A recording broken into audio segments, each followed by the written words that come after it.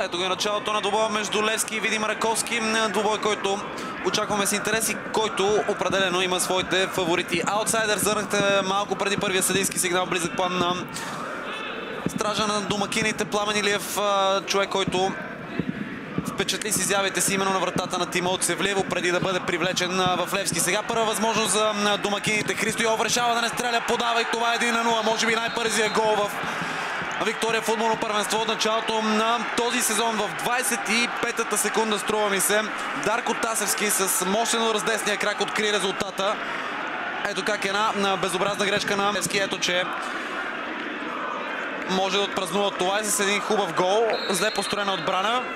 Добре върна топката назад Христо Йолов. Дарко Тасевски нямаше време да обработва. Още сбъркаха и отлични предпоставки за контратака. Георги Какалов е съвсем сам в дясно. Получава топката Какалов. Този път за Сада няма какъв шанс за състава на Видима Раковски. И това е гол.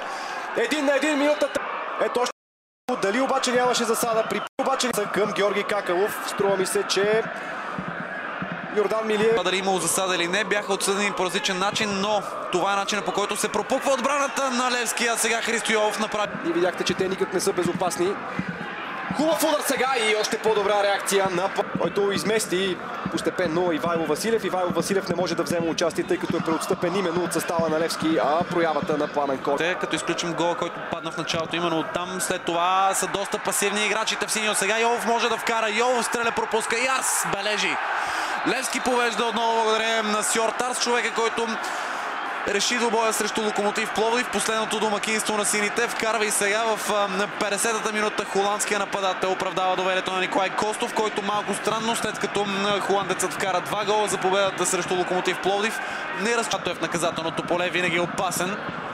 Ето как се разви тази атака. Рикошира удар, топката попадна в Христо Йов. Той излезе в много добра гола позиция, но Пламен Колев изби.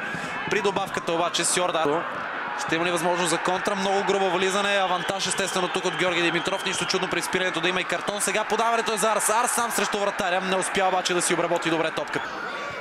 Сега отново той. Добър пас. Чудесно двойно. Дани Младенов. Прекрасно спасяване на плана от тях. Вижте още веднъж хубавото двойно подаване тук между Христо Йов и Даниел Младенов. Ударът на бившия футболист на Пирин имаше необходимата сила. Бе насочен доста добре. Но Пламен Колев му е отне.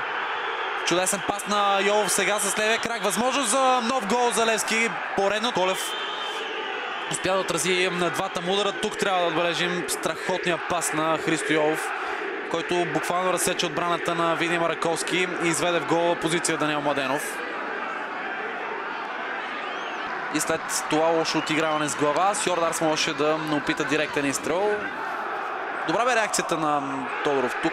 Покри го бързо и затова може би холандецът реши да финтира още веднъж своя съперник. Ангел Русев. Държа малко топката. Сега